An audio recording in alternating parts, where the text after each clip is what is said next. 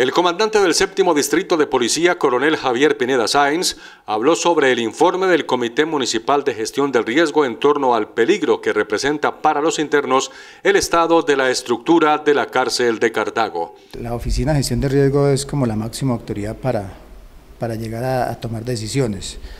Eh, por parte de la institución vamos a solicitar nuevamente otra revisión por parte de, de gestión de riesgo, ir a hacer unas verificaciones y ojalá invitar a los medios para tener eh, eh, realmente claridad que lo que está sucediendo y no de pronto estar dando informaciones eh, erróneas a, la comunidad.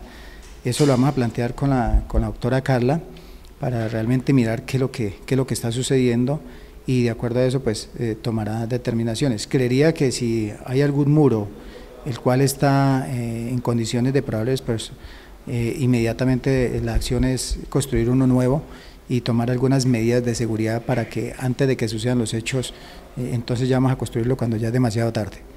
Sí, Coronel ha pedido a la Oficina de Gestión de Riesgo que está la situación tan grave, de gravedad, que es preferible construir una nueva cárcel que refaccionarla. Insisto, ya eh, la Oficina de Gestión de Riesgo serían los, los, competentes para llegar a tomar una determinación. Pero si estamos hablando de muros, eh, no creería, digamos,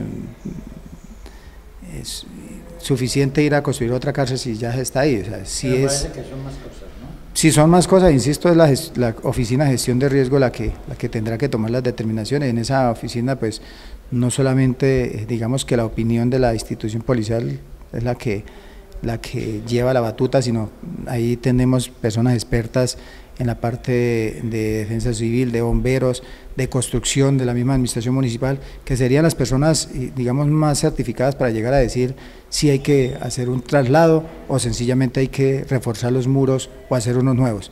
Eso es importante. Voy a plantear una reunión para esta semana, eh, en el transcurso de la semana, con la, con la administración municipal y con la misma eh, oficina de, del IMPEC y es bueno aclarar esas cosas antes de que sucedan los hechos.